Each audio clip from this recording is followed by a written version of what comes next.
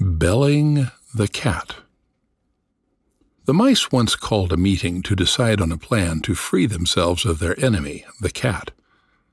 At least they wished to find some way of knowing when she was coming, so they might have time to run away.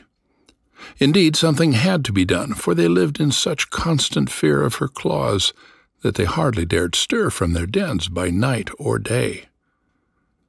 Many plans were discussed but none of them was thought good enough. At last, a very young mouse got up and said, I have a plan that seems very simple, but I know it will be successful. All we have to do is to hang a bell about the cat's neck. When we hear the bell ringing, we will know immediately that our enemy is coming. Were much surprised that they had not thought of such a plan before. But in the midst of the rejoicing over their good fortune, an old mouse arose and said, I will say that the plan of the young mouse is very good, but let me ask one question. Who will bell the cat?